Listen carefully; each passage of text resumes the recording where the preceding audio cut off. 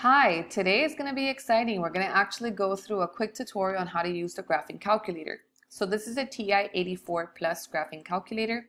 Here at the bottom left hand corner of the calculator, you're going to have your on button. I'm going to go ahead and quit because I was working on something in statistics.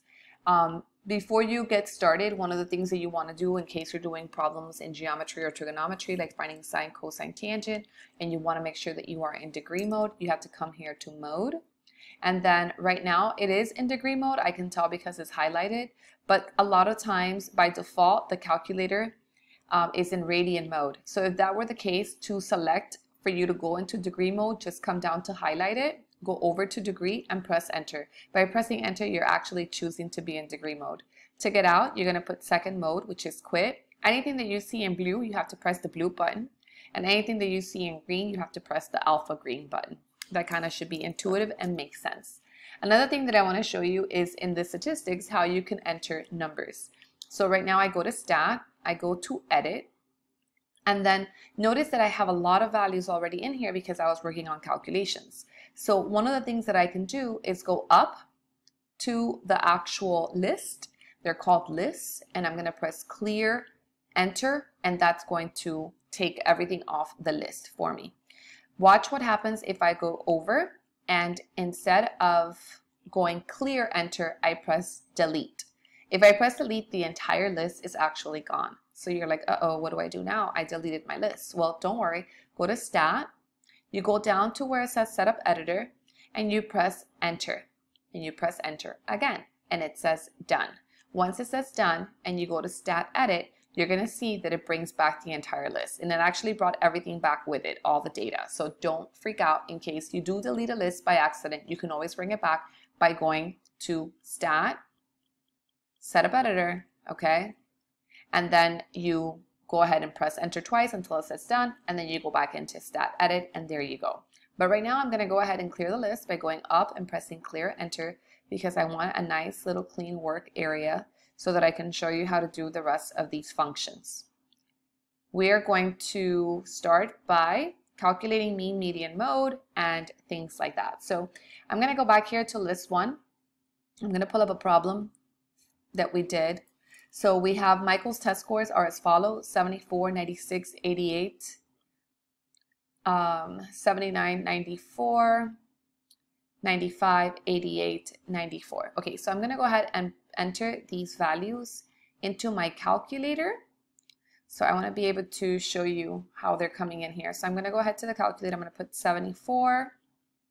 Of course, it disappears. Let me bring it back. So 74, 96, 88. So I'm going to put 74, enter. And you're to see it come here. 96, enter. 88, enter. The next numbers are 74, 96, 88, 79, 94, 95, 79, enter, 94, enter, 95, enter. You should be doing this in your calculator as I'm doing it on the calculator. 88 and 94. So then 88, enter, 94, enter. So that's my list of values that I'm working with. Notice that the calculator tells me that right here L19, that means that the calculator is waiting for you to enter the ninth number in the list. That means that we have entered eight numbers already, which is great because a lot of times you're going to be dealing with long lists of data and you don't want to sit there and count up to see that you have them all. If I do right now, just to check, just to show you, I have one, two, three, four, five, six, seven, eight values inputted. It's waiting for the ninth one. If I go to my PowerPoint, I go one, two, three, four, five, six, seven, eight. Sure enough, I have all eight numbers already here. So what can I do with the calculator? I'm going to go to stat, which is statistics. I go over to calculations or calculate, and I'm going to choose right now one variable statistics because I'm only dealing with one variable. So I'm going to go ahead and press enter. Now I'm working with list one. Right now it says list five. By default, most calculators will say list one, but just in case yours doesn't, by the way, the way you choose a list is going second, one. Do you see the L1 here in blue? L2, L3, L4, L5, L6. That's how you can do it. Now, what's a frequency list? A frequency list is any number that is associated with a frequency. So let's say I were to ask you how many brothers and sisters you have. I could go around one person at a time, and if I have 30 students in my class, I would have 30 numbers that I would have to enter in a list. But instead, what I could do is consolidate. How many people said they're only children? That means they have zero siblings. Let's say 10. How many people have one brother or one sister? Uh, two. How many people have two brothers and sisters? Seven, like that. And so those would be frequencies. So sometimes when you go to stat edit, I would put here, let's say 0, 1, 2, three, four, five, because that's how many siblings they have. And here I would put the frequencies. And that's what is meant by um, when you go to calculate, if there is a frequency list. Right now we do not have one. So if we don't have one, make sure that this is clear. Because if you have something in here, then the calculator is going to assume that those frequencies are related to your values. And right now they're not. I just want those eight numbers to be calculated. So I come down and I press calculate. When I press enter, look at all the plethora of information that the calculator gives me. It gives me the average, automatically it's 88.5. It tells me the sum of all the values is 708. So if you have to show your work, the sum is 708 divided by 8 numbers is equal to 88.5. That's the average. If I scroll down, the calculator also gives me what's called the five number summary which is the minimum value, 74. The lower quartile Q1 is 83.5. The median is 91. The third quartile is 94.5 and the max is 96. So it's it makes calculations a lot easier. One of the things that we haven't really talked about, but we will, is standard deviation. For IB purposes, we're always going to work with population standard deviation, which is this little sigma x. So in questions that are involving standard deviation, when they ask you that, you would give the answer to three significant figures, approximately 7.58. This is sample standard deviation for any of you who are taking a regular statistics course, and there is a difference between sample and population. For IB purposes, for IB math applications and interpretation, you will always be working with population standard deviation. So that all came from just going stat, calc, one variable statistic, selecting list one, and look at the data, look at all the information that we got just from that one little function. Okay, so that's easy stuff so far. So when I pull up the answer key for this particular problem, notice that the average is 708 divided by um, 8, which is 88.5. That's exactly what I got.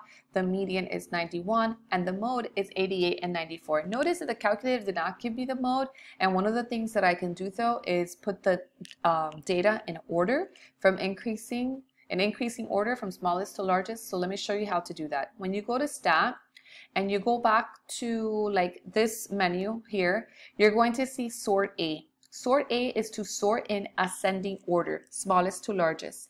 Sort D means to sort in descending order, largest to smallest. And clear list will actually clear the list, like the same way we went to each list and we press clear enter except here you have to separate them by uh, commas. Maybe I'll show you that a little bit later. So then here I'm going to go to sort A. I'm going to press enter and I have to tell which list I want to sort. So I'm going to sort list one and I do that by pressing second one. So I press enter and it says done. So when I go back to stat edit and I look at my list, notice that all my numbers are arranged in increasing order, which is lovely because now when I go to find the mode, I can tell that there's two 88s and there's two 94s. So my mode is 88 and 94. So even though when I go to stat, calc, one variable statistic, it doesn't explicitly tell me the mode, because it doesn't, I can organize the data in increasing order to make it a little bit easier for me. Another thing that I want to show you for the calculator is for the chi-square calculations. When you want to input the values for your observed frequencies, this contingency table, you're going to put it in as a matrix. So in the calculator, you go second matrix, which is second x to the negative 1. And it's going to give you a matrix. Now you're going to go over and you're going to go to edit. And you're going to press enter. Here, you're going to enter the dimensions of the matrix.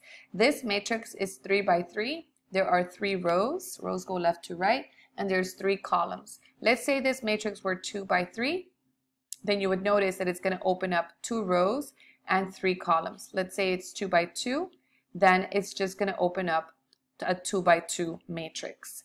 Um, in case, oh, okay, I made a mistake, I want to go back and fix it, all you have to do is go back and then I can say, okay, I want this to be a 3 by 3 matrix. So then it opens it up to the spacing that you need. So I'm going to go ahead now and I'm going to copy the values 136, I have to add 24, so I just press enter because that one is correct. 36 is correct. But this one is 24. By the way, in case they were not correct and you want to type over, all you have to do is do that. Type over. um, the values. You don't have to even press delete. So then 40, enter, 10, enter, 90, enter, 50, enter, 25, enter. Okay, so that's basically putting the data, the observed frequencies into the calculator. So now I go stat, I go over to tests. I'm going to go up to option C, which is the chi-square test. Okay, chi-square test, because there is a chi-square goodness of fit test, but the one we want right now is the chi-square test of independence. So I'm going to go ahead and press enter. It's going to ask me, where did I put my observed values? You don't remember, but we did use matrix A, so that's fine. Where do you want the expected frequencies? In matrix B, it sounds good to me. And then just go ahead and go to calculate. So then when I press enter, the calculator is going to give me the chi-square calculated value of 7.096. It's also going to tell me the degrees of freedom. So if we go back to our notes from chi-square, you're going to see that one of the things we did have to find was the chi-square calculated value. Okay, so the chi-square calculated value here was 7.096 after all these calculations, which I'm going to show you in a minute. And I also had to figure out the degrees of freedom, which I found by doing um, the number of rows minus 1 times the number of columns minus 1, which we did get 4. So look at all the information that the calculator is already giving to you by just going stat test chi-square. So it gives me the chi-square calculated value. Now, the calculator is also going to give you those expected frequencies that you had to calculate. And if you remember to find expected frequencies, you have to do row total times column total divided by grand total. So it's a lot of work, especially like in this one, it's 3 by 3 and it's long. So how does the calculator just give me these values? Very simple. After you've already done the test, because remember we already did the test, I'm going to go ahead and go back to matrix, second matrix, and then I go to edit and I go down to matrix B and I press enter and there are all my values. Okay, so you can see that it matches exactly what I have here on my screen. So it's exactly what I have and it just gives it to me beautifully. Um, so if you don't have to show work or if it's the IB exam and they just kind of want your answer, you can just get it this way without having to do such um, so much, so many calculations. But in the likelihood that you do have to show your work, because you will have to show your work when you go to do your project, your IA, this whole thing about pho, phi, pho minus phi, pho minus phi squared, pho minus phi squared divided by phi, the calculator will help you so you're not sitting there manually having to subtract each one of these one by one. Because if you had to sit there and go 100 minus this, take the answer, then square it, then divide it by the expected, I mean, it's a lot of work. So the calculator will do that for you. Let me show you how. The first thing we're going to have to do, however, is that we are going to have to enter under stat edit, okay? So stat edit our value. So remember to clear this, I'm gonna go ahead and go up to the list. I press clear, enter. And now I wanna make sure that I enter my expected frequencies, okay?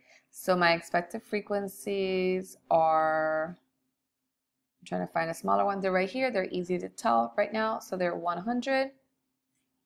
Enter. I'm going to go ahead and read across so that I am consistent and entering my values.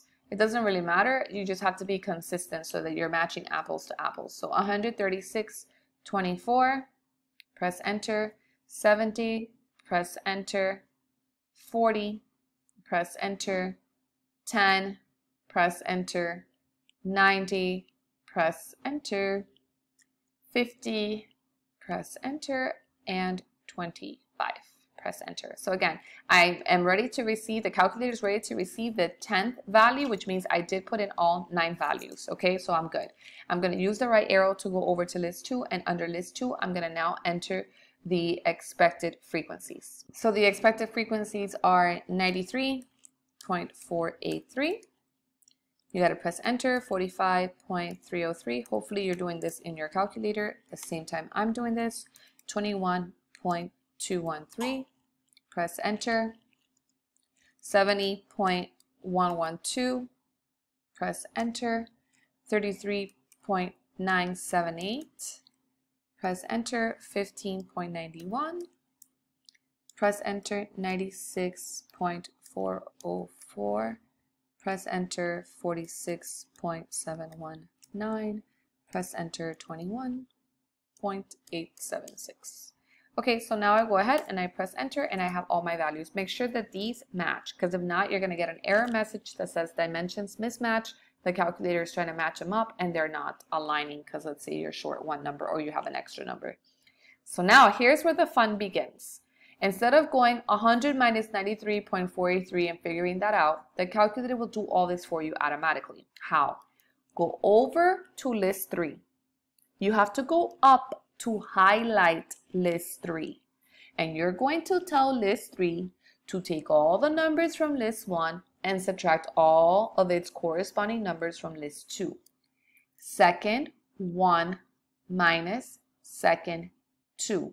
As you type in the bottom of your screen, you'll see what you're entering. So now when you press enter, it populates all of those values. Isn't that amazing? It's so cool. It's such a time saver. So then it goes fo, phi, fo minus phi, minus phi squared. Whatever I got from here, I now have to square it. So I'm going to go over to list 4, go up to highlight list 4, and tell list 4 to go second, 3, list 3, and square it. Again, I'm trying to square this list. So I press enter, and it goes ahead and it squares everything for me. So I go over to list 5, fo, phi, fo minus phi, minus phi squared, 4 minus phi squared divided by phi, which means I have to take everything from list 4 and divide it by list 2. So I'm going to go up. If you don't go up to highlight, it's not going to work. So I have to go up to highlight the list, second list 4 minus, I'm sorry, not minus, divided by list 2. Okay? And then you press enter. And voila, this is all the work that you have to show. To figure out the chi-square calculated value, you have to add up all of this data. So I go stat calc one variable statistic for list 5. I want the sum of list 5. And so when I get the sum, 7.0956 is my chi-square calculated value. When I go stat uh, tests chi-square calculated value, the chi-square test of independence, and I press enter, enter, enter, then you see that this matches exactly what I got, which is awesome because I definitely want to get those same values.